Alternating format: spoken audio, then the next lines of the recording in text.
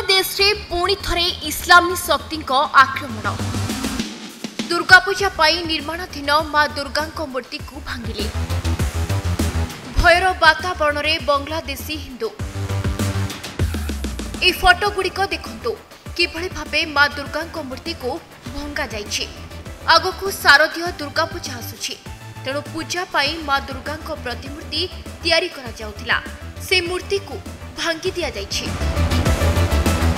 ଏହି ଘଟଣାଟି ହେଉଛି ବାଂଲାଦେଶର କୁସ୍ତିଆ ସହରର ବାଂଲାଦେଶ ହିନ୍ଦୁ ୟୁନିଟି କାଉନସିଲ ପକ୍ଷରୁ ଟ୍ୱିଟ୍ କରି ମା ଦୁର୍ଗାଙ୍କର ମୂର୍ତ୍ତି ଭଙ୍ଗା ଫଟୋ ଜାରି କରିବା ସହ ଏ ବିଷୟରେ ସୂଚନା ଦିଆଯାଇଛି। ବାଂଲାଦେଶ ହିନ୍ଦୁ ୟୁନିଟି କାଉନସିଲ ପକ୍ଷରୁ ପୁଣି କୁହାଯାଇଛି ଯେ ବାଂଲାଦେଶରେ ଏପରି ଘଟଣା କିଛି ନୂଆ ନୁହେଁ। ପ୍ରତିବର୍ଷ ଦୁର୍ଗାପୂଜା ବେଳେ ଦୁର୍ଗାପୂଜା ମଣ୍ଡପର ମୂର୍ତ୍ତିକୁ ଇସଲାମୀ ଶକ୍ତିମାନେ ଭାଙ୍ଗିଥାନ୍ତି। କୁସିତା ଜିଲ୍ଲା ସାର୍ବଜନୀନ ଦୁର୍ଗାପୂଜା କମିଟିର ସଭାପତି ଅନୁପ କୁମାର ନନ୍ଦୀ କହିଛନ୍ତି ଯେ ଐକ୍ୟ ଯୁବ ସଂଘ ପକ୍ଷରୁ ପ୍ରତିବର୍ଷ ଦୁର୍ଗାପୂଜା ପାଳନ କରାଯାଇଥାଏ ଓ ଏଥିପାଇଁ ମୂର୍ତ୍ତି ନିର୍ମାଣ କରାଯାଇଥାଏ। ଗତକାଲି ରାତିରେ କାରିଗରମାନେ କାମ ସାରି ଫେରି ଯାଇଥିଲେ।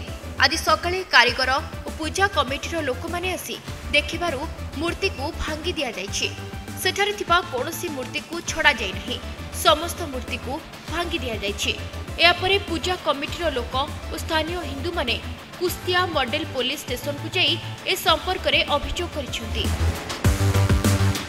ଥାନାର ଇନଚାର୍ଜ ଅଫିସର ସବିରୁଲ ଇସଲାମ ଓ ତାଙ୍କର ଟିମ୍ ଘଟଣାସ୍ଥଳକୁ ଆସି ଯାଞ୍ଚ କାମ ଆରମ୍ଭ କରିବା ସହ ଦୋଷୀମାନଙ୍କୁ ଧରାଯିବ ବୋଲି ପ୍ରତିଶ୍ରୁତି ଦେଇଛନ୍ତି।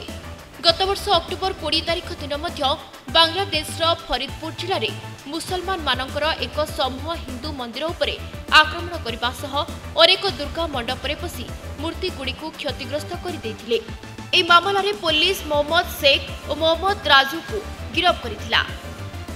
ସେହିପରି ଦୁଇ ହଜାର ଉଣେଇଶ ମସିହା ଅକ୍ଟୋବର ଉଣେଇଶ ତାରିଖରେ ମଧ୍ୟ ଠିକ୍ ଏପରି ଘଟଣା ଘଟିଥିଲା।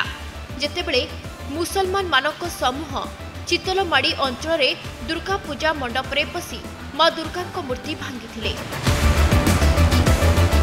ଯଦି ଗତ କିଛି ଦିନ ତଳର ଘଟଣା ଉପରେ ଦୃଷ୍ଟି ପକାଇବା ତାହେଲେ ଦେଖିବା ଯେ ଗତ ମାସକ ତଳେ ଖୁଲନା ଜିଲ୍ଲାର ସିଆଲି ଓ ଗୋବାରା ଗାଁରେ ଥିବା ମନ୍ଦିରରେ ବିଗ୍ରହଗୁଡ଼ିକୁ ମୁସଲମାନମାନଙ୍କ ଏକ ସମୂହ ଆସି ଧ୍ୱସ୍ତ କରିଦେଇଥିଲେ। ପୋଲିସ ଏହି ମାମଲାରେ କୌଣସି କାର୍ଯ୍ୟାନୁଷ୍ଠାନ ଗ୍ରହଣ କରିନଥିଲା।